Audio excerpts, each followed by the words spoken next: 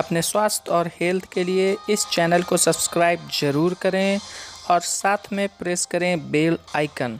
Video के notification सबसे पहले पाने के लिए। हेलो फ्रेंड्स, मैं रवि वर्मा और आज मैं बात करूँगा सेप्ट्रियाजोन इंजेक्शंस के बारे में।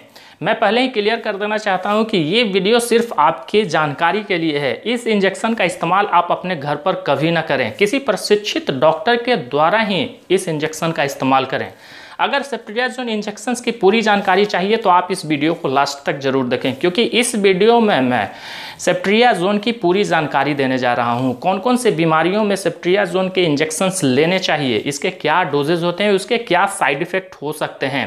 क्योंकि बहुत सारे ऐसे पेशेंट्स आते हैं जिनको मैं बोलता हूँ कि आपको इतने दिनों तक सेप्ट्रिया जोन के इंजेक्शंस लेने पड़ेंगे। लेकिन उनमें से कुछ ऐसे पेशेंट्स होते हैं जिनको बीमारियाँ ठीक हो जाने के बाद वो इंजेक्शंस लेना ज़रूरी नहीं समझते हैं, जो कि बहुत ही गलत है। इसका पूरी डोज लेना बहुत इंपॉर्टेंट होता है। इसकी पूरी डोज लें। जितना आपको डॉक्टर के द्वारा रिकमेंड किया जाता है, उतना डोजेस ज़रूर लें। लास्ट में मैं बात करूँगा, वो कौन सी बीमारी है बच्चों में जो हो जाने के बाद सेप्ट्रियाजोन के इंजेक्शन नहीं लेने चाहिए? तो इस वीडियो को लास्ट तक ज़रूर देखें। तो वीडियो शुरू करने से पहले अगर आप मेरे नए व्यूवर्स हैं तो चैनल को सब्सक्राइब ज़रूर करें, क्योंकि इस चैनल पे आपको सभी तरह के मेडिसिन के बारे में सही जानकारी दी जाती है। आपके हेल्थ के बारे में सही जानकारी दी जाती है। अगर आपने फेसबुक पेज को भी लाइक नहीं किया है तो मैंने लिंक डिस्क्रिप्शन में दे रखा है। वहाँ पे भी आप फेसबुक पेज को लाइक कर सकते हैं, क्योंकि वहाँ पे मैं रोज़ाना एक ब्लॉग डालता हूँ, जो आपके लिए इंपॉर्टेंट हो सकता है। तो वीडियो शुरू करने से पहले वीडियो को लाइक करें वीडियो को शेयर ज़रूर करें ताकि ये इन्फॉर्मेशन दूसरे लोगों तक पहुँच सके।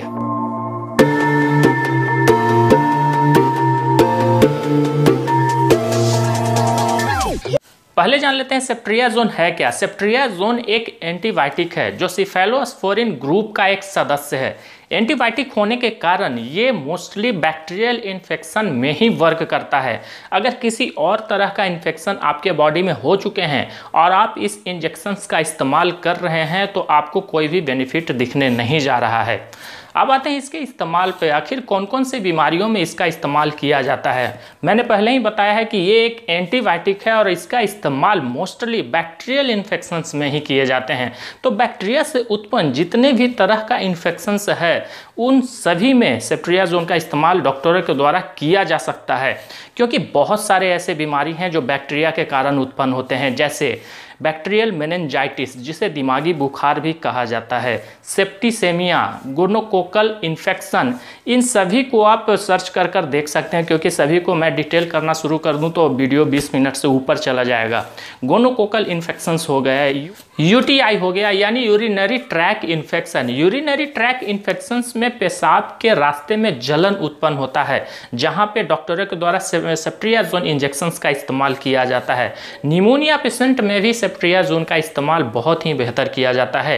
एस एस टी आई हो गया, यानी skin and soft tissue infection इन सारे बीमारियों में ये कुछ मैंने मुख्य बीमारी बताया है इलनेस बताया है, जहाँ पे सेप्ट्रिया जोन का इस्तेमाल डॉक्टरों के द्वारा वाइडली यूज़ किया जाता है। तो इन सभी इन्फेक्शंस में सेप्ट्रियाजोन का इस्तेमाल किया जाता है। अगर आपको वायरल इन्फेक्शन है, या तो फिर वायरल फीवर है, या तो फिर फंगल इन्फेक्शन है तो उन सब चीज़ों में, उन सब इलनेस में सेप्ट्रियाजोन वर्क नहीं करेगा। आपकी बीमारियाँ ठीक ही नहीं होंगी अगर आप इंजेक्शंस लेते हैं तो। वायरल फीवर में बहुत ज़्यादा लोग कभी कभी सेप्ट्रियाजोन का इस्तेमाल करते हैं, जो कि बहुत ही गलत है।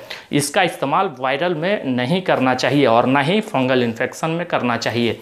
ये मोस्टली केवल रिज़ल्ट दिखेगा, दिखाएगा तो वो है बैक्टीरियल इन्फेक्शन बैक्टीरिया से उत्पन्न बीमारियों में ही इसका इस्तेमाल, इसका इफिकेसी हो सकता है। अब जानते हैं इसके साइड इफ़ेक्ट के बारे में। अगर आप पहली बार सेप्ट्रियाजोन इंजेक्शन का इस्तेमाल अपने ऊपर कर रहे हैं तो आप किसी प्रशिक्षित डॉक्टर के सामने ही सेप्ट्रियाजोन इंजेक्शन लगवाएँ, क्योंकि शुरू बार में, शुरुआत में इसके गंभीर साइड इफ़ेक्ट कोई कोई व्यक्ति पे देखा गया है। इसलिए जब भी आप इंजेक्शन लगवाएँ पहली बार तो किसी प्रशिक्षित डॉक्टर के सामने ही लगवाएँ। इसका जो कॉमन साइड इफ़ेक्ट है, वो वोमेटिंग हो सकता है। अगर आपको इंजेक्ट किया गया, उसी दौरान पूरा इंजेक्शन लगते समय ही आप वोमिट कर सकते हैं। रैसेस हो सकता है आपके बॉडी पे, पूरे बॉडी पर कहीं पे भी रैसेस हो सकता है। दस्त की समस्या हो सकती है। इंजेक्शन लेने के बाद आपको चक्कर का भी अनुभव हो सकता है। इस इंजेक्शन के जो कॉमन साइड इफ़ेक्ट हैं, वो चक्कर आना भी है। आपको जहाँ पे इंजेक्शन्स लगाई जाएँगी, वहाँ पे जलन भी आपको महसूस होगा। ये मैंने पूरा जो बताया है, वो कॉमन साइड इफ़ेक्ट आपको मैंने बताया है यहाँ पे। अब जानते हैं इसके डोजेस के बारे में आखिर सेप्ट्रियाजोन इंजेक्शन के क्या डोज हो सकते हैं? तो इसके जो डोज है, वो सभी बीमारियों में अलग अलग होता है। निमोनिया में इसका डोज अलग है, बैक्टीरियल मेनेंजाइटिस में इसके डोज अलग होते हैं। तो बेहतर होगा आप अपने डॉक्टर से कंसल्ट करें, वहाँ पे डायग्नोस कर कर आपको डॉक्टर के द्वारा जानकारी दी जाएगी कि आपको कितने दिनों तक ये डोजेज लेनी है, और उसी के अनुसार आप उस डोज का इस्तेमाल करें। लेकिन इसका जो मैक्सिमम डोज है, वो 50 एम टू 75 एम पर के पर डे इनडिवाइडेड डोजेस का है।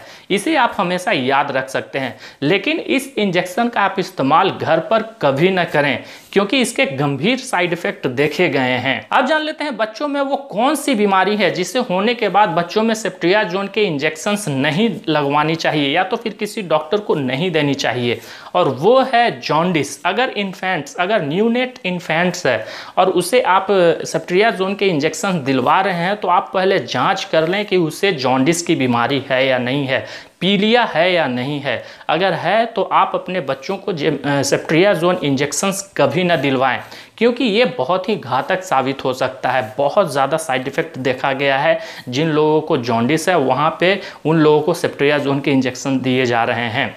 तो वीडियो अच्छा लगा हो तो वीडियो को लाइक करें शेयर करें, और अगर आप मेरे नए व्यूवर्स हैं तो चैनल को सब्सक्राइब ज़रूर करें।